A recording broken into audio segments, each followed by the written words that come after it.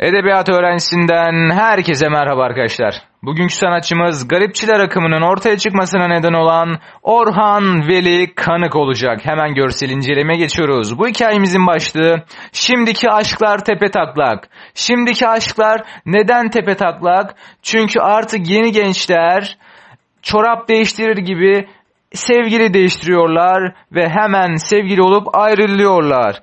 Hatta birbirleri için vazgeçemediğim dedikleri destan gibi olan aşkları bırakıp yenisini buluyorlar. Ve de eskilerinin karşısına geçiyorlar. Onlarla karşı karşıya geliyorlar. Ve düştükleri bu durum La Fontaine'in masallarından ve Nasrettin Hoca'nın hikayelerinden hatta Nasrettin Hoca'nın bindiği dalı kesmesinden farksız değildir. Bu durumdan geriye sadece kırık bir kalp ve kanıksanmış garip bir durum kalıyor.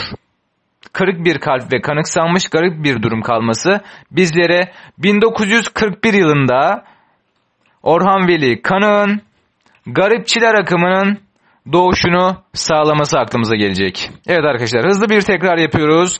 Şimdiki aşklar tepe taklaktı. Neden? Çünkü artık yeni sevgililer çorap değiştirir gibi eş değiştiriyorlardı. Hatta vazgeçemediğim dedikleri destan gibi aşklarını bile bırakıp yerine yenisini buluyorlardı ve eskisinin karşısına geçiyorlardı. Bu durum La Fontaine'in masallarında Hatta Nasrettin Hoca'nın hikayelerinde ve Nasrettin Hoca'nın bindiği dalı kesmesinden farksız değildi.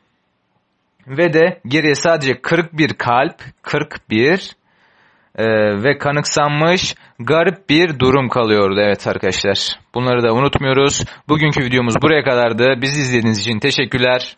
Hoşçakalın.